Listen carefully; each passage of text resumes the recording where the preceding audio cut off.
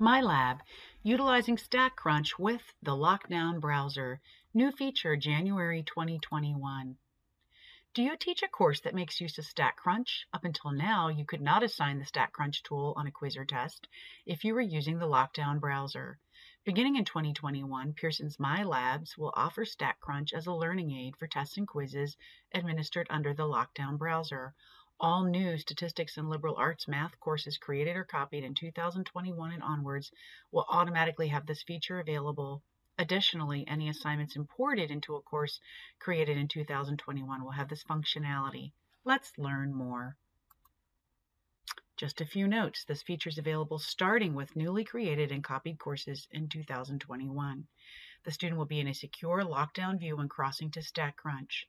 For more help, you can navigate to knowledge base articles. Please see the description for this video for additional links and resources.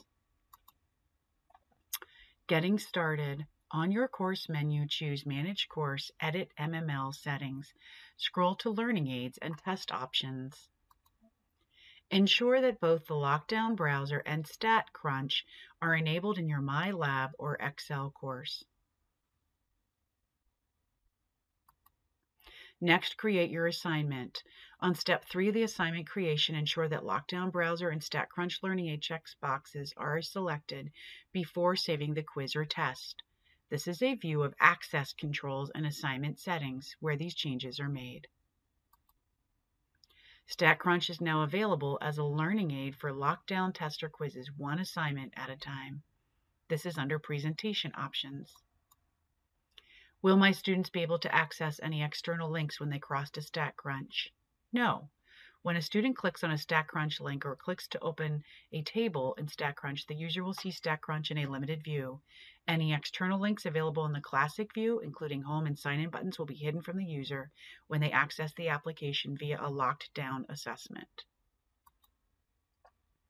Is this available for both quizzes and tests? Yes, this feature is available for both quizzes and tests in the Lockdown browser mode. Will copied courses have this functionality? Yes, if you copy a course in 2021 using an instructor or parent course created before 2021, the new course will also have this feature. What if my existing locked down tester quiz already had StatCrunch as a learning aid in review mode? If your pre-2021 course had a test or quiz with StatCrunch selected as a learning aid in review mode, and that assignment is copied or imported to a new 2021 course, StatCrunch will now automatically be available both in the assignment and in review mode. If you do not wish for your students to have the learning aid enabled for the test or quiz, you must opt out at the assignment level. I'm not seeing this feature in my course. Please make sure your course was created in 2021. If it wasn't, you can make a copy of your course and the new one will have the functionality available. If needed, you can import your assignments from the prior course. How do I import assignments from previous courses? Under your homework or test manager, choose the Import Copy Assignments from another course option and follow the prompts. For more information about this process, see the link in the video description or select in Product Help.